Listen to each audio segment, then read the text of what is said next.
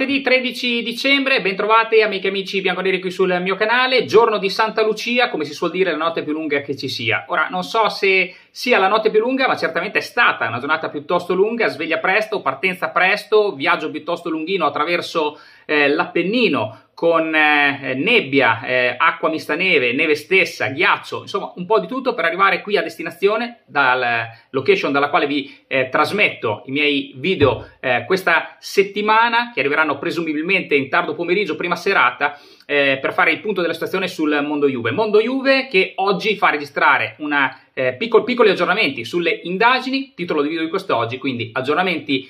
indagini Juve, Vlaovic e, e Cherubini. Prima di proseguire, grazie sempre per il seguito che date al canale, grazie per il sostegno, se non siete ancora iscritti mi raccomando iscrivetevi al canale, azionate la campanella e se sarete rimasti soddisfatti del contenuto mi raccomando eh, il vostro like in fondo alla puntata.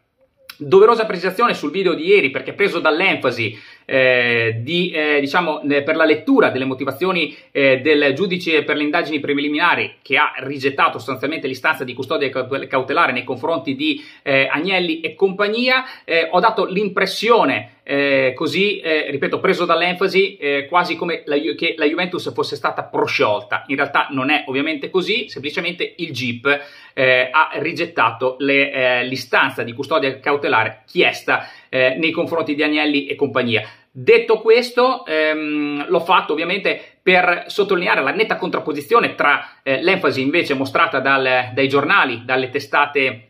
eh, giornalistiche, dal web, da tanti giornalisti che dovrebbero informare e che invece si sono fatti prendere così da un sentimento eh, di tifo eh, contro eh, la Juventus, elargendo le più eh, sparute e disparate ehm, sentenze mh, mm, verso le quali la Juventus eventualmente sarebbe potuta andare incontro. E allora, preso dall'enfasi, probabilmente ho, eh, eh, mi sono lasciato andare a termini errati. La Juventus ovviamente non è stata prosciolta, semplicemente c'è stato un rigetto da parte del GIP eh, dell'istanza di custodia cautelare. Peraltro, aggiornamento di oggi, la eh, Procura eh, di, della Repubblica di Torino ha rinunciato all'appello contro il GIP, ehm, ritenendo evidentemente attraverso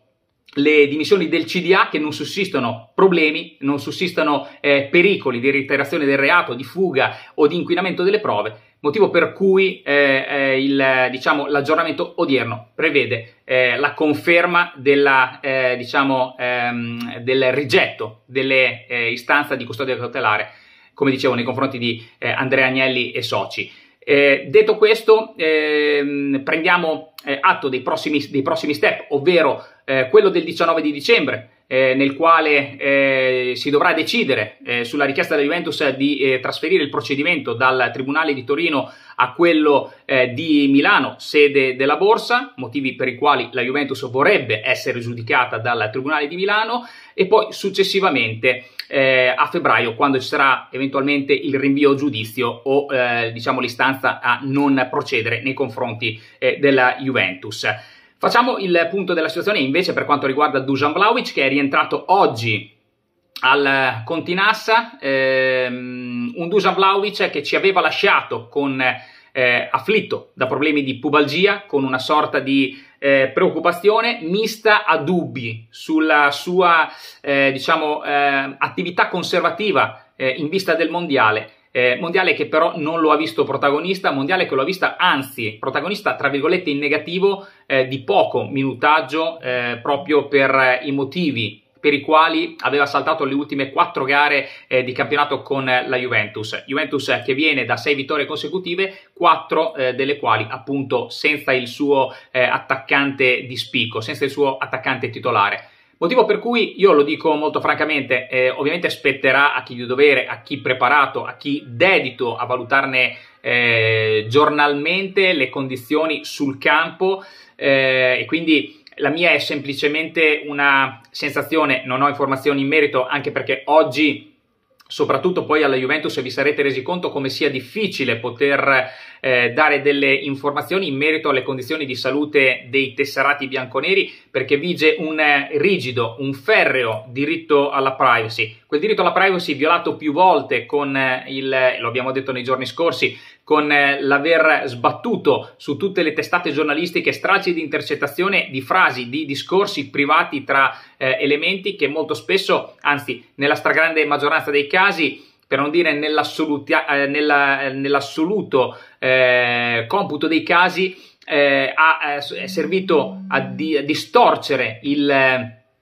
eh, significato del, eh, della frase stessa. E quindi eh, questo eh, diritto alla privacy ci vieta di capire esattamente eh, quelli che potrebbero essere i tempi de- di recupero, quelle che sono le reali condizioni di un giocatore per il quale io eh, comincio a nutrire dei dubbi, delle perplessità nel senso che la pubalgia è una, mm, chiamiamolo infortunio, anche se poi in realtà non è un infortunio, è un problema serio, un problema eh, quale, mh, mm, non, dal quale non è, non è, facile guarire. Sembrava, peraltro eh, il, il, giocatore ne aveva già sofferto nella passata stagione, potesse aver risolto i propri problemi, allora quando, lo ricorderete, eh, nel corso della preparazione estiva aveva eh, svolto una sorta di programma differenziato eh, che lo avevano riportato poi an, ad una fase iniziale della stagione eh, così in una condizione che apparentemente sembrava essere quella di un giocatore molto più simile al giocatore che la Juventus acquistò dalla Fiorentina che non a quello visto un pochino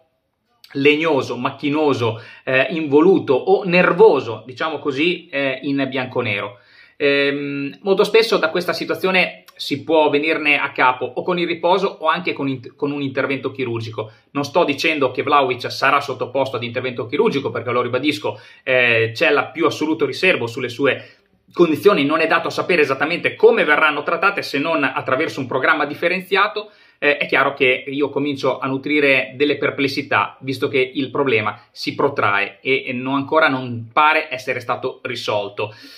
Cosa succederà a Vlaovic? Beh, io intanto sono già certo che Vlaovic verrà eh, accostato ai nomi dei più grandi club europei in virtù del fatto che non sta attraversando un grandissimo periodo, che il suo valore di mercato potrebbe essere sceso e che potrebbe far gola data la eh, giovane età e comunque le sue qualità riconosciuteli da eh, diversi eh, direttori sportivi, diversi club, top club europei, eh, essere accostato eh, appunto a questi club. E quindi prepariamoci ad una possibile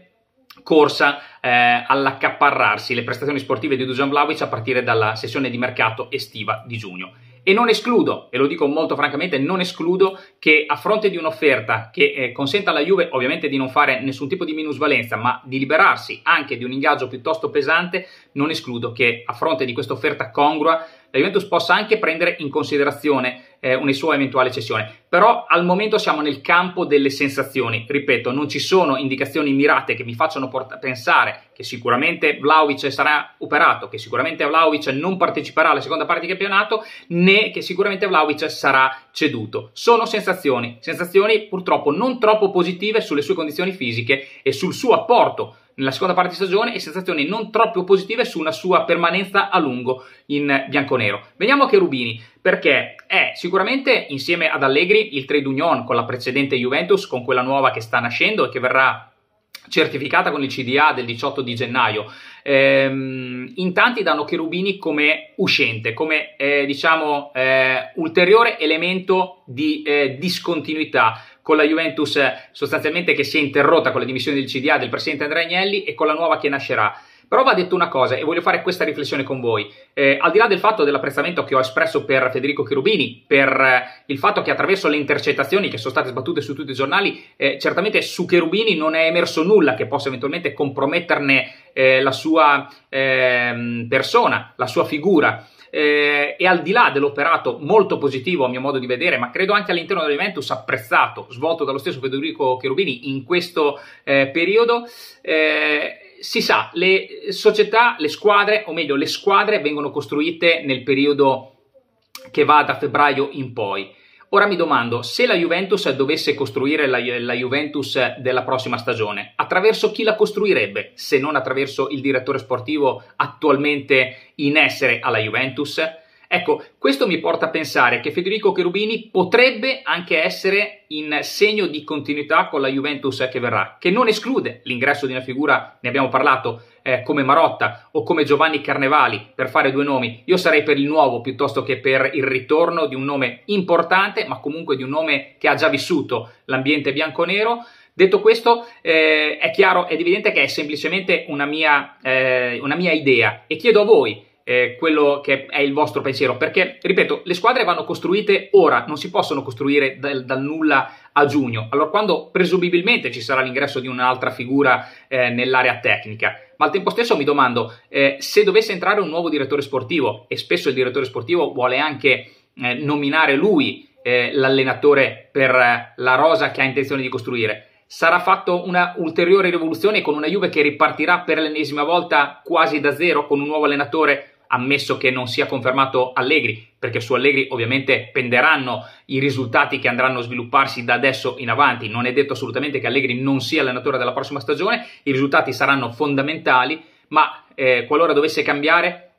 cambierà anche il direttore sportivo. Eh, il direttore sportivo che dovrà a quel punto selezionare i giocatori da portare alla Juventus con un progetto che ripartirà ancora eh, una volta eh, sostanzialmente da zero io ho qualche dubbio su questo ce l'ho e quindi non escludo così categoricamente che ci sia questa linea di totale discontinuità con la precedente Juventus anche nella nuova e quindi la, fi- la figura di Federico Cherubini non è così certa che possa lasciare la Juve come ovviamente non è certo che potrà eh, rimanere. Però diciamo che costruendosi le squadre adesso da eh, gennaio, febbraio in avanti, è chiaro che con, Federico, con Federico Cherubini in sella sono portato a pensare che potrebbe anche lui avere un ruolo nella prossima Juventus. Ditemi la vostra, ci sentiamo presto, come sempre, fino alla fine. Forza Juve, ciao!